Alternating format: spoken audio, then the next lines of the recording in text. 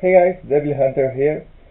So maybe some of you know that I have been developing this magazine. This is a CO2 magazine for the M14. Uh, it's been so so long time that I can't even remember when I started them. But finally I I get a working one and today I wanna show you. Uh, this is my M14 with the ModStock adapter I, I have made and first of all I wanna show you how how the Mag works and, and then I will show you the parts and, and everything else. So like my other magazines it works with CO2 direct from paintball bottles so if you want to know more about this, uh, people have named this mod with my nickname. Uh, you can search for Devil Hunter mod and you will you will find some info on how to make this mod into GHK magazines and I have done it even to to pistol magazines. So first open the open the on-off valve and fill the mag like any other gas mag. Uh, right now the performance of this Mag is is not gonna be the best one because uh, as you can see here my lips are broken so when the the gas comes out the high pressure of the gas will bend the gas route so I hope uh, that there will be venting. So also the the mag in the M14 is very wobbly anyways works. So now I'm gonna show you how the mag is made. So this is the the first prototype I made. This works like like pistol magazine. The, this is a standard CO2 valve from GHK.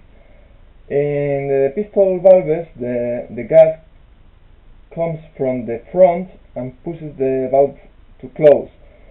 And goes out in the middle. So there is a strong force to close the magazine. The, to close the valve of course.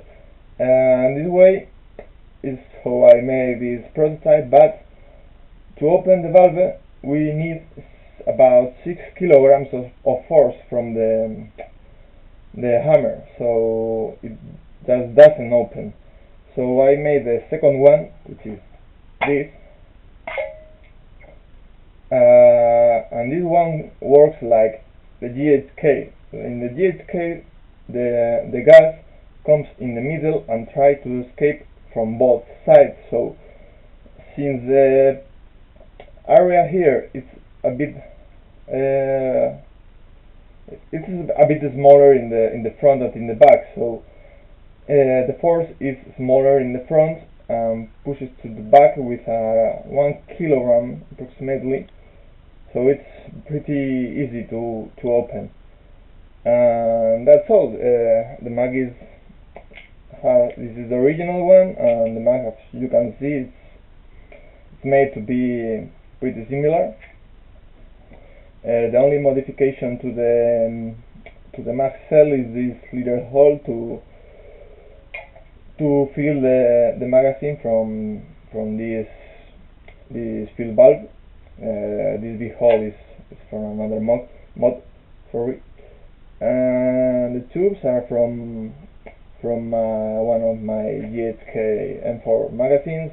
Uh, since this is a prototype, I, I didn't want to make them. They will take so many time.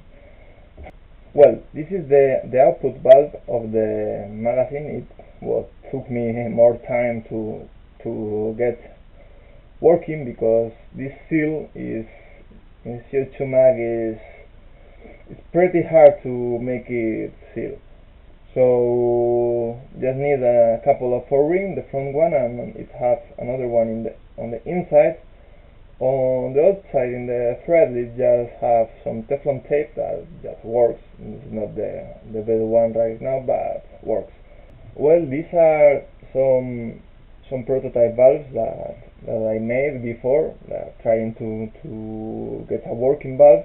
I've tried some some different plastics to make the seals. This this is Evo plastic, polyethylene, and this is PVC, a special kind of PVC.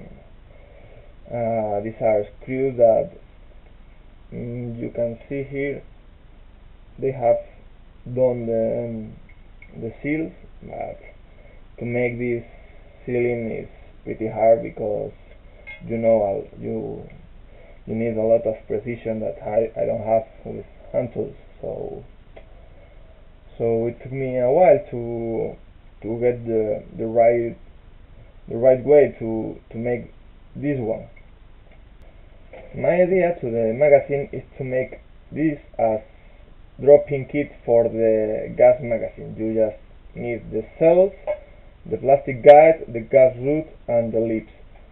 I could try to get from as replacement part from WE but you know that they don't they don't sell replacement parts so it's gonna be hard. Uh, anyways, I can continue with my prototyping because my machine is it's a, it's a toy machine, it's not a real machine. The precision is pretty bad so I need a, a new one, a bigger one.